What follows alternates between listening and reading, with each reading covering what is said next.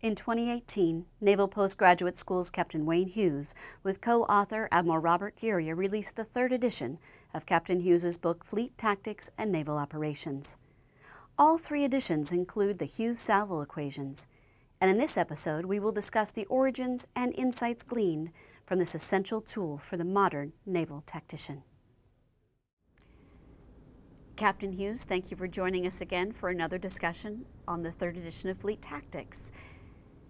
Today I want to talk about the salvo equations. What are the salvo equations? I worked them out to be a concise way to describe salvo warfare like when carriers, air wings attack other forces, when uh, torpedo salvos are fired from a formation of destroyers, or in modern warfare when missile ships fire anti-ship cruise missiles at at, at other ships or even land targets.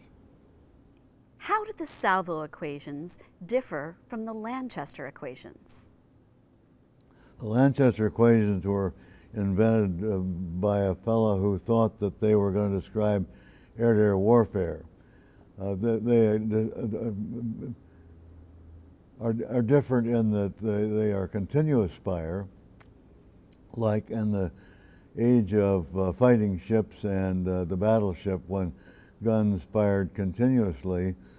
But when uh, air-to-air combat started, Lanchester thought that, that they would be uh, an opportunity to show that uh, numbers would matter more. Turns out he was wrong.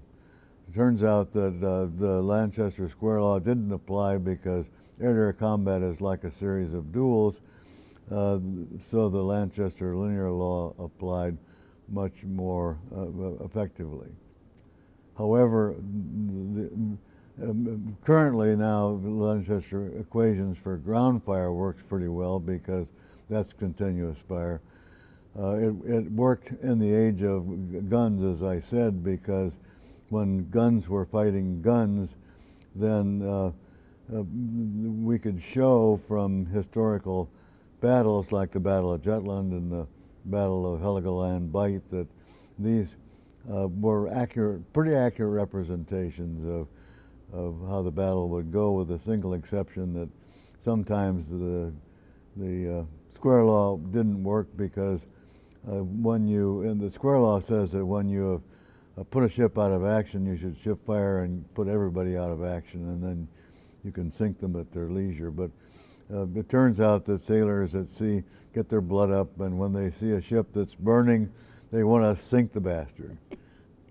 well, be that as it may, then the salvo equations represent when a pulse of power is fired instead of a, a continuous wave of fire, and it turned out to be very versatile and helpful. Why did you develop the salvo equations? It's fun to answer this question and also humbling. uh, way back in the late 70s, uh, a very astute anal analyst in uh, the Office of Secretary of Defense named Will O'Neill sent a memo down to the CNO saying that the Lanchester equations demonstrated that numbers were more important than uh, individual ship quality and noted that our Navy was getting smaller in numbers and and bigger in ship quality, and, and we should take a look at this. Well, the CNO sent it down to us in Op 96 because we were the, the, the, analysts in, in the organization, and I was outraged. I uh, said, this, this can't be true.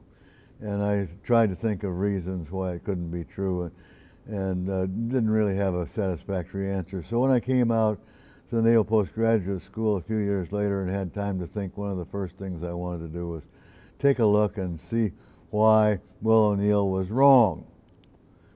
Well, in the course of doing that, I started looking at aviation, uh, carrier battles. I, I, observed that when carriers fought carriers, they were likely to take each other out. Uh, as one very astute aviator said before World War II, uh, a carrier battle against carriers is likely to be like two scorpions fighting in a bottle. It's, it's going to be mutual suicide. And so uh, th that meant that what one needed to do was find the enemy and attack him before he could find and attack you. So that was one of the significant outcomes. that the, the salvo-like format of carrier operations uh, demonstrated, and of course that appears in the book later.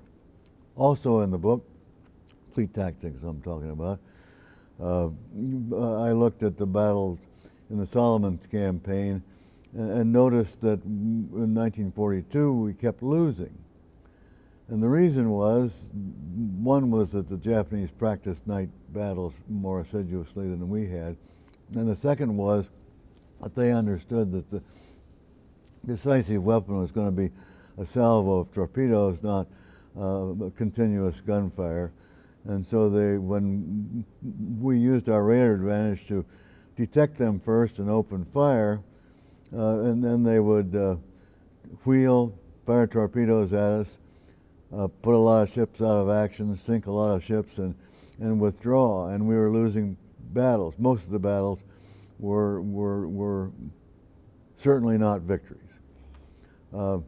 Then in 1943, there was a pause, and we had time to get our act together. And uh, Commander Arleigh Burke came out and and uh, studied the battles and, and discovered uh, that we could use our radar advantage. And if we used our torpedoes, then we could sneak up on the enemy and we wouldn't reveal our position with gunfire and we could start winning. And lo and behold, when we used his tactics, we sank a lot of Japanese ships and hardly uh, and lost none of our own. Then, of course, that demonstrated that that was a, the clue that when missiles are the weapon of choice, then small ships are going to be able to take out even more big ships because they can fire a salvo. Say, um, say a little ship can fire eight missiles or, or even 16, and uh, the, the format of the equations uh, didn't change much. Uh, it just evolved into what uh, we, we use today. So I had to eat crow. Uh, and I found out Will O'Neill was not only right, but, but numbers were even more important than I thought. What other big insights are brought to light by the salvo equations? Well, I mentioned that numbers are the most important, but mm -hmm. the salvo equations are even more specific. They say if uh, you have three times as many ships as I do, then each of my ships must have uh, three times the firepower, three times the defensive power, and three times the staying power of your ships as a mathematical construct. But it's also true operationally. Uh, so if, if you shoot at me and put one of my ships out of action, then I lose my offensive power, my defensive offensive power, and, and because the ship will be uh, fall out of formation and the enemy won't shoot at it anymore, the staying power value of the ship is, is also true. Uh, one more thing I'll mention here is that uh, the, the equations show that uh, modern combat is unstable. If I don't have very many ships and I don't have very ship, many ships that can take a lot of hits, then the, the battle can shift from being a total victory to a total defeat in a, a, very short space if one side or the other changes its numbers. How confident are you that the salvo equations are a good representation of missile combat? There are really three answers to this, two yeses and a no. uh, one of the yeses is we've done a lot to, uh, my students and uh, friends and other faculty members have done a lot to demonstrate that the equ equations really work uh, using uh, historical examples, using uh, mathematical, uh, using complicated simulations, using other formats that, that demonstrate that uh, yes, they are, are a, a, good approximation uh, if you know what the characteristics of the actual battle were, then you can prove that the salvo equations will ex post facto uh, have predicted how the battle would have gone. Is there a third reason? I said there was a third reason, which uh, is on the contrary side. Uh, and, and, I illustrate that by saying that the, the, the, equations are a simplification.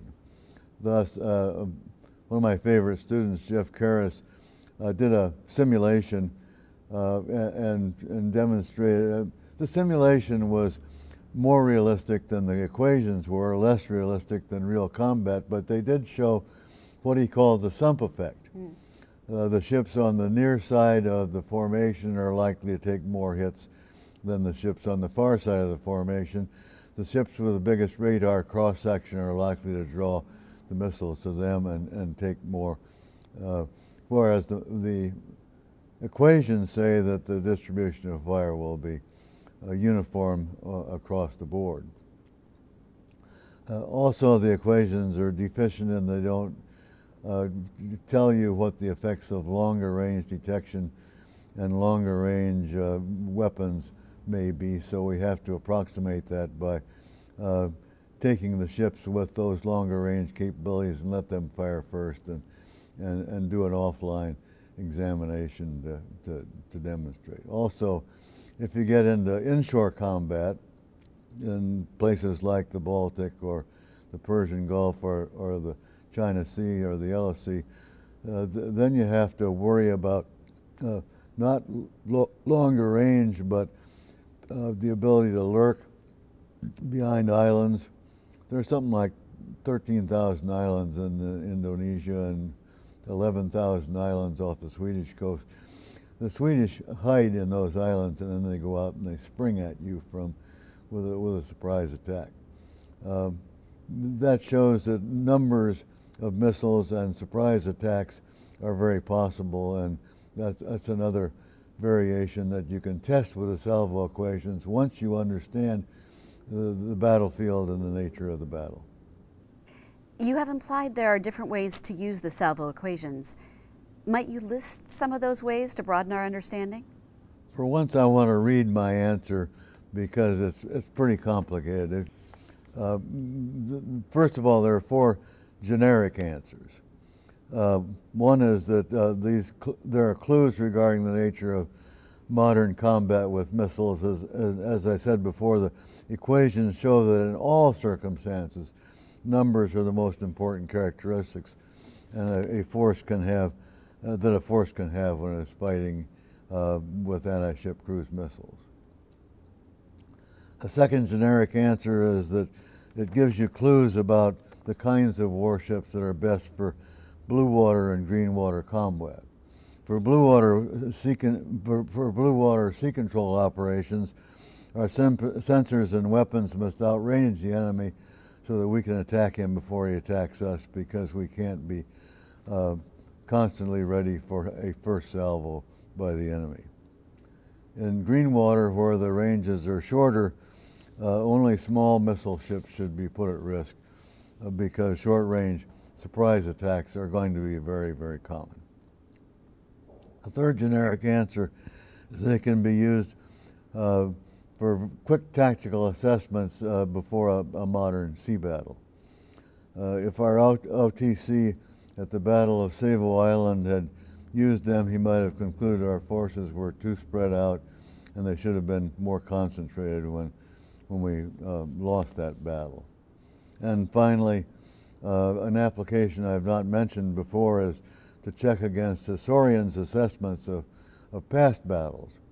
Uh, a, a, good friend and Canadian named Michael Armstrong uh, refought the battle of the uh, Coral Sea using the salvo equations to test my conclusions about why the battle came out the way they did, and to my delight, he, the salvo equations reinforced the, the accuracy of my assessment. Then beyond the generic side, uh, here's some examples of other student applications uh, or faculty or even uh, tactical analyst applications.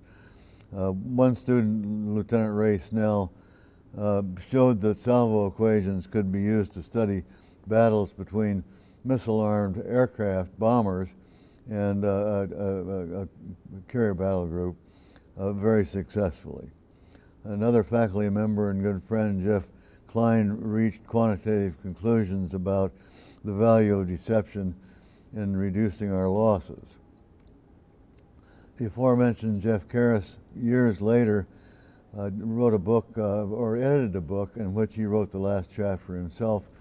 Using the salvo equations, he showed that if uh, a combatant has some, it carries some unmanned surface vehicles, probably unmanned aerial vehicles too, but he used unmanned surface vehicles, and then launches them.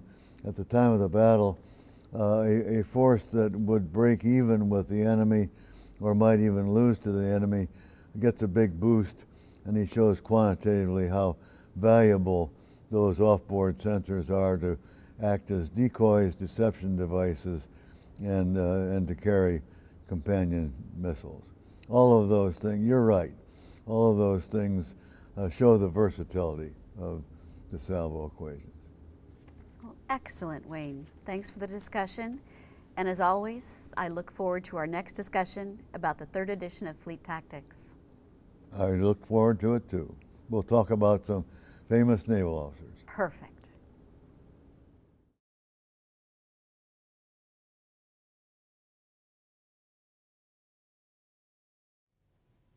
Thank you for taking a moment to view a discussion on the origins of the Hughes-Salvo equations with their creator, Captain Wayne Hughes.